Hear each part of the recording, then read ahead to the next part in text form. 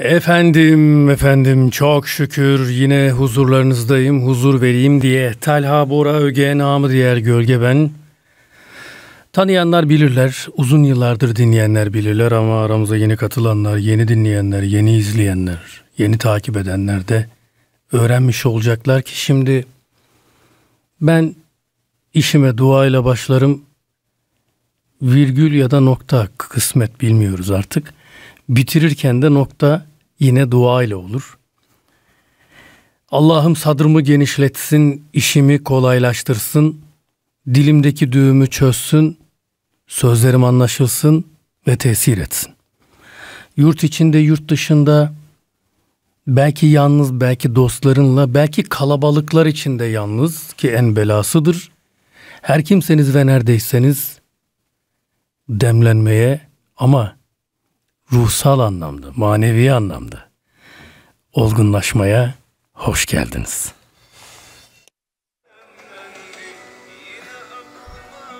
Evet, başladık. Bugün de bakalım gönlümden dilime neler nasip olacak. Çoğu zaman ben de bilmiyorum. Hayatı da çoğu zaman öyle akışına bırakarak yaşıyorum ve belki öylesi daha güzel. Yani direnmek yerine hayatla beraber akmak, tevekkül edip Yaradan'ın sana verdiğine razı olmak. Bu Yaradan'ın sana verdiğine razı olma meselesi de enteresan biliyor musun? Çok derin bir mevzu. Bununla alakalı birazdan konuşacağım ama. Şimdi İbn Sina Hazretlerine sormuşlar. Devası olmayan dert var mıdır? Öyle bir cevap vermiş ki geçerliliğini hala koruyor. Diyor ki derdin devasızı iyinin kötüye muhtaç olmasıdır. Of.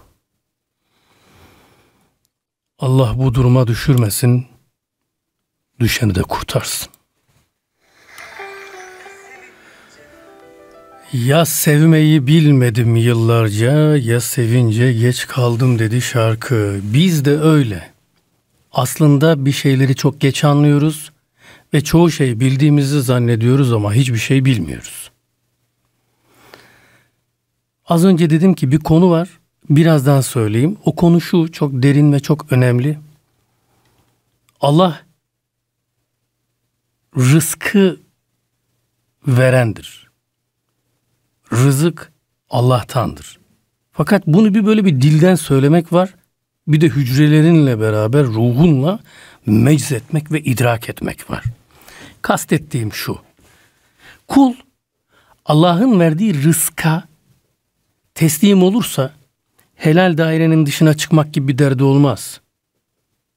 Verdiğine razı olur. O zaman Allah da razı olur ve ona vermeye devam eder hem de yormadan. Fakat kul yeterli bulmaz çoğu zaman. Daha fazlasını ister. Daha iyi olacağını düşünerek. İşte o zaman Allah o kulu öyle bir yorar ki. O kul ömrü boyunca dünyanın peşinden koşar ki asla yakalayamayacağı bir dünya. Duman olur, perişan olur ve sonunda ne olur biliyor musunuz? Yine Allah'ın en başta taksim ettiği elinde olur.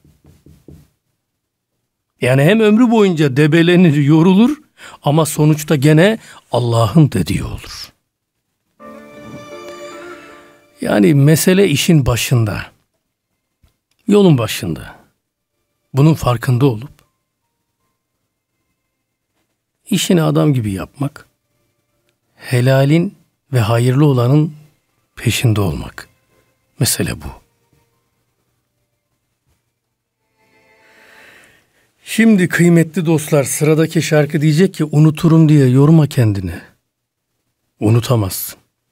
Siz de hani bir gün ben elimi bu işten çekip de bir yerlere gittiğimde ya söyleme falan deme bu olacak da yani ömür varsa bir gün bizim yerimizde burada başka biri olacak. 14'te bir açacaksın gölge yok. Bu olacak. İşte o gün unutacağını zannediyorsan yok Allah'ın izniyle Bu kardeşin senin aklında yüreğinde kalacak. İnşallah. Şimdi Hafız Sami Efendi'nin ki 1874-1943 yılları arasında yaşamış. Ben önce orijinal çevirisini okuyayım. Diyor ki bak çok hoş. Kimseyi dil tengi azar etme sultanlık budur. Kalbi muru taht gah eyle Süleymanlık budur. Gerçi her bir derde vardır bir tabi çare saz. Nabzı gir bir kalbi mahzun ol ki lokmanlık budur. Ne diyor? Şimdi tercümesini okuyayım. Sonra devam edelim. Kimsenin kalbini kırıp üzme sultanlık budur. Karıncanın kalbine taht kur, Süleymanlık budur. Gerçi her bir derde çare bulan bir tabip vardır. Sen mahzun kalpten anlayan ol ki lokmanlık budur. Allah Allah.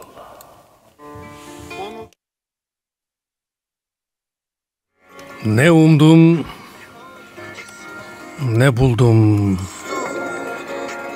Umudunu susturma. Şimdi özellikle gençliğin dilinde bir sıkılganlık aldı gidiyor diyor ya. Çok sıkıldım hayattan. Öyle demiş şairlerin sultanı. Çok sıkıldıysan hayattan bir mezarlığa git.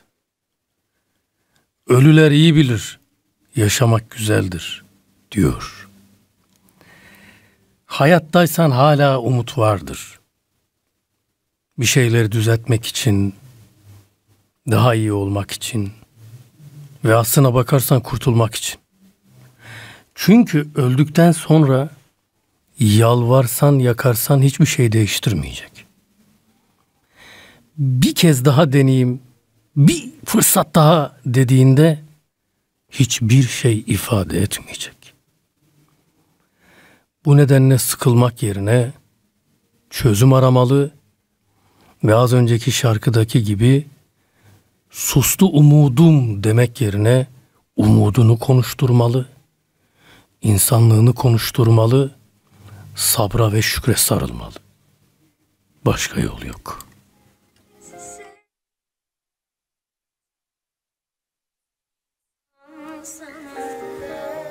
Bak gördün mü? Bir hanımefendi güvenmiş değil mi? Bir yola çıkmış. Hayat yolunu beraber yaşamak için bir karar vermiş ama geldiği nokta diyor ki kabahat sende değil, kabahat bende. Seni insan sandım. Şimdi bu aslında iki taraf için de geçerli. Bir beyefendi bir hanımefendiyi, bir hanımefendi bir beyefendiyi hayatın herhangi bir yerinde büyük bir haksızlık yaparak yarım bırakabilir. Bunları duyuyoruz hatta çok daha yürek sızlatan hikayeleri var bunun. Ortada çocuk kalıyor. Veya öyle babalar, öyle anneler var ki ne baba denir ne anne her iki tarafa da zulmediyor. Ben de işte bu nedenle demiştim. Ya bizim inancımıza göre sofrada yarım bırakılan lokmanın hesabı sorulacak. Dedim ki işte yarım bırakılan lokmanın hesabı sorulur da yarım bırakılan insanın hesabı sorulmaz mı? Ne sanıyorsun?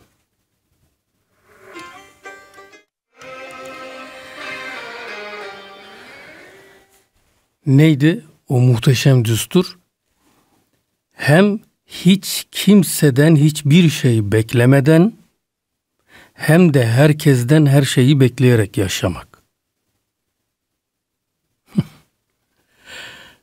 İnsanın olduğu yerde beklentiler oluyor ama beklenti ne kadar artarsa ne kadar yüksekse emin ol aynı oranda hayal kırıklığı da artacak.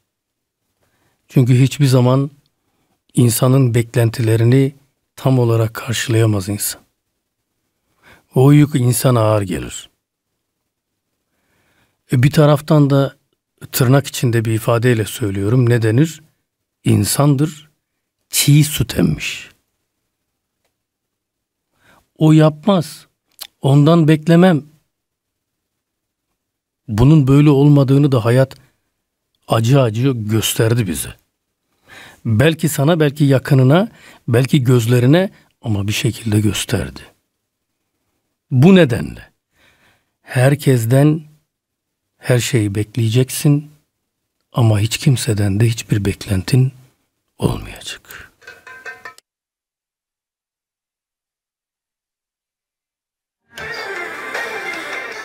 Saygıdeğer dostlar eğer sosyal medya kullanıyorsanız veya sosyal medya tamamında yoktur da hesabınız bir Instagram vardır. Belki sadece Facebook vardır bilemem.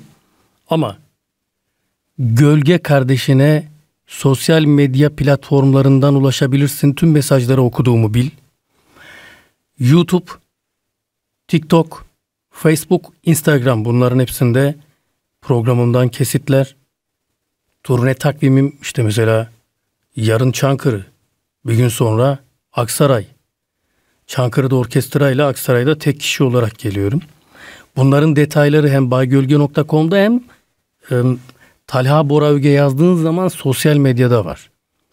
E tabi bir de Radyo 7 yönetimi sağ olsun programda da tanıtımları yayınlıyoruz. Yani yok duymadım haberim yoktu olmaz. Peki bu saatin son anonsunda şairin dediği doğru ona hak vererek devam edelim. Diyor ki biz diyor şu hayat yolculuğunda o kadar çok yalnızlık çektik ki hani dışarıdan nasıl göründüğün önemli değildir çoğu zaman. O nedenle diyor ki öyle büyümüş ki içimizdeki yalnızlık sevmeyi beklerken beklemeyi sevmişiz. Hani o kadar. Öyle ya da böyle eğer kendini yalnız hissediyorsan doğru yerdesin. Gölgen seninle.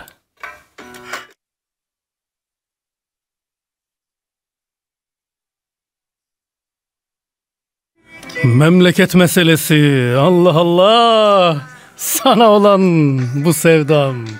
Vay vay. Abi ben Karadeniz'i severim. Karadenizlileri severim. Ve bilirim ki onlar da beni sever. Selam olsun hepsine. Vay vay vay. Ya bir video gördüm hakikaten etkilenmemek mümkün değil. Hani derler kul plan yapar Allah'ın planı işler. Veya kul plan yaparken hani teşbihte hata olmasın kader güler diye. Çok doğru. Hani bu İstanbul'umuzda geçtiğimiz günlerde bir fırtına koptu. Fırtına ile beraber tabelalar koptu. O fırtınada bir adamcağız böyle giderken fırtınanın rüzgarın etkisiyle ayakta duramıyor. Böyle bir takılı veriyor ayağı, ayağı düşüyor. O düştüğü anda hemen sol tarafındaki dükkanın tabelası yerinden çıkıyor. Adamın üzerinden geçiyor. Yani o kocaman tabela eğer adam düşmeseydi vurduğu gibi adamı dümdüz edecekti. Hani ayet var. Estağfirullah, Bismillah. Yusuf suresi kaçıncı ayette? 64. ayet. Allah en iyi koruyandır ve o merhametlilerin en merhametlisidir. Yani bazen sen bir şeye zorlarsın. Olmaz bir de dövünürsün niye olmadı diye yanarsın ağlarsın. Fakat bilmezsin ki senin o zorladığın kapı açılsaydı yanmıştın.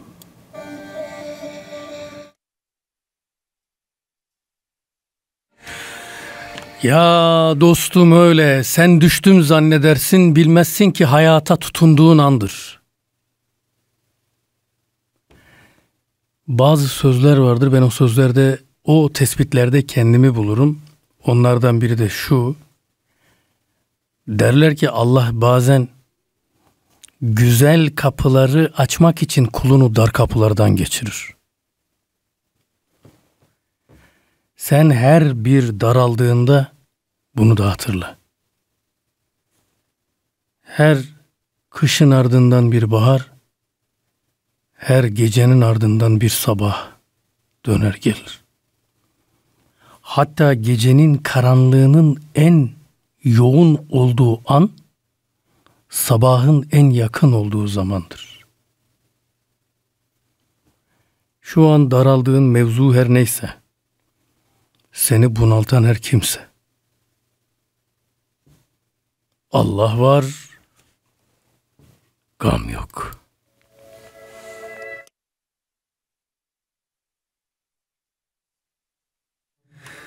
Sevgili dostlar, bir süredir anam evdeydi. Evi şereflendirdi, evin bereketine vesile oldu, huzuruna vesile oldu. Buradan da ellerinden hürmetle öperim. Anasından ayrı olanları Mevlam kavuştursun, hasta olanlara şifa versin.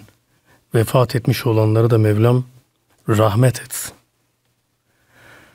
Mekanları cennet inşallah. Şimdi İbrahim Tatlıses'in Anam türküsünü dinleteceğim. Fakat çok önemli bir detayı buradan dile getirmek istiyorum. Diğer taraftan malum üçüncü evladım oğlum Mert Muhammed dünyaya geldi. Hatta iki aylık olmak üzere zaman geçiyor. Fatma'mın anneliğine hani bebekken hamilelikten tut bebekliğinde o annenin meşakkatini, gayretine de bir kez daha şahit olduğum için dile getirmekte fayda görüyorum. Anaların hakkı ödenmez. Bak böyle bir şey yok yani. Ana hakkı ödenmez. Ödenemez. Rızasını aldın aldın. Sırtın yere gelmez. Duasını al yaşarken. Ve şunu hatırla. Anan diyelim ki yanında yaşlandı. Allah sana bu şerefi bahşetti. Ona hizmetle şereflendin. Sen bu hizmeti niye yapıyorsun?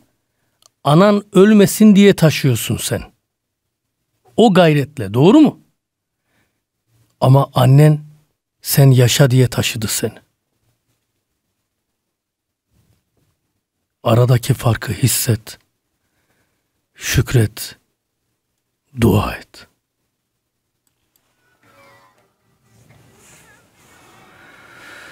Kıymetli dostlar, zaman zaman programda ayet meali, zaman zaman Efendimiz Aleyhisselatü Vesselam'ın bir sözü programda anlatımlarımızı destekliyor. Sözümüze şeref katıyor. Anlam katıyor.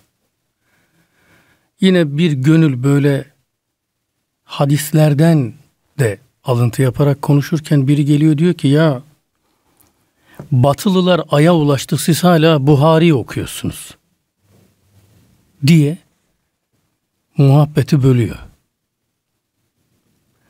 O gönül o bölene diyor ki bak diyor mahluk mahluka ulaşmış biz de Halık'a ulaşmak istiyoruz.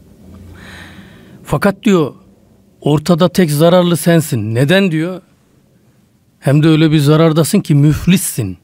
Çünkü ne onlarla aya çıktın ne de bizimle bu muhabbeti yaparak Allah rızasına. Sen kendine yan.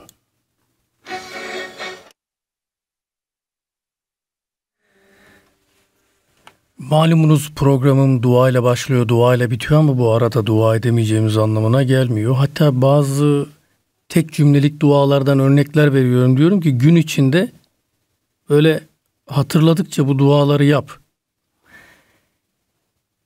Şimdi öyle bir hakikaten kısa ama Allah'ın izniyle etkisi uzun sürecek bir dua edeceğiz. Ama öncesinde şu duanın da kayda geçmesini tekrar çok istiyorum. Ne demiş Allah dostu? Bak duadaki naifliğe bak. Allah'ım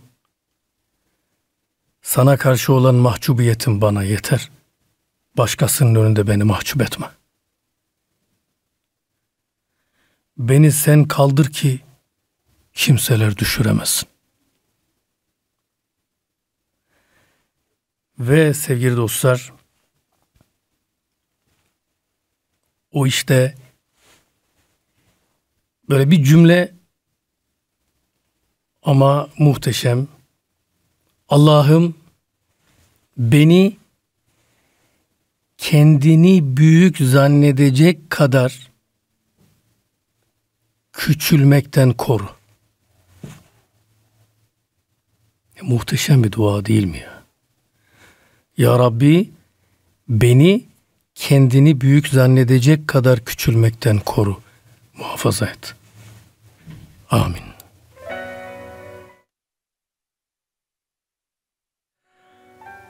Evet az evvel içim yanar bir Ferdi Tayfur bestesiydi.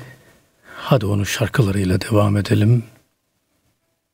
Ve bir gün gittiğimizde ortalıktan hatıramız yeter mi bilmem ama şimdi hatıran yeter diyelim.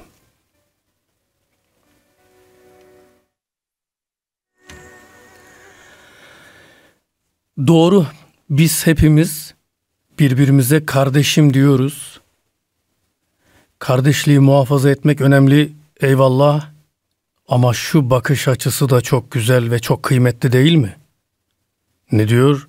Kardeşiz demek yetmez. Habil misin? Kabil mi? Onu netleştirmek lazım.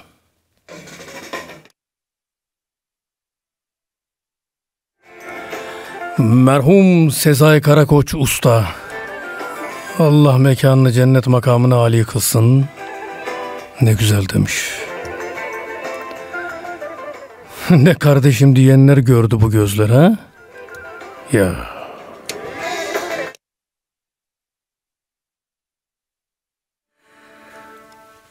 Geldik bir programın daha sonuna. Sıra bana gelmediyse hala bir gölgem varsa yine Radyo 7'mizde buluşacağız. Bana ulaşmak istersen tüm sosyal medya hesaplarım onaylı resmidir ve Talha Bora Öge yazman kafidir. Şimdi programın kapanış duasından önce diyelim ki baharı yaz uğruna tükettik. Aşkı naz uğruna ve papatyaları seviyor sevmiyor uğruna. Derken ömrü tükettik bir hiç uğruna. Ömür öyle ya da böyle tükenecek, bir hiç olmasından korusun Mevlam. Tekrar buluşacağımız ana kadar hatırlayalım. Dün gitti, yarın daha gelmedi, anı yaşayalım. Hepimize huzurlu anlar bendeniz gölgenizden şimdilik Anyway.